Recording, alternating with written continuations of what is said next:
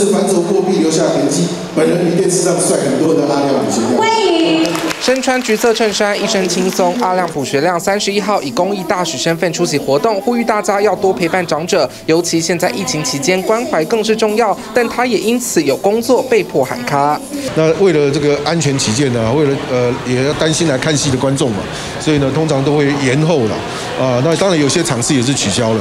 那本来五月份还有有一两场就也呃有一两场被取消，就是因为舞台剧《最后十四堂星期二的课》原定四月三十、五月一号的演出，因为剧组人员有同住家人染疫遭框列居隔，只能延期。跟金世杰视讯对此，没有特别去算啦，要去算这些影响，但多多少少会有一些影响了。呃，六月份还是有一些演出的安排，目前就是还是正常，因为呃没有升级啊，呃这个演出还是正常嘛。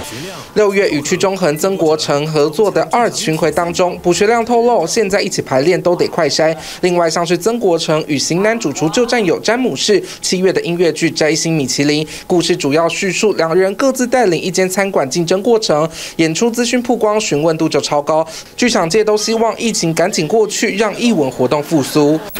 而提到好友黄子佼与孟耿如的女儿日前刚诞生，三十一号更在社群直喊不忍了，大方晒娃。朴学亮也送上祝福，恭喜当然要祝福了。对对对，短信我们都第一时间知道的啦，但是都是他还没有公布之前，我们也不能讲。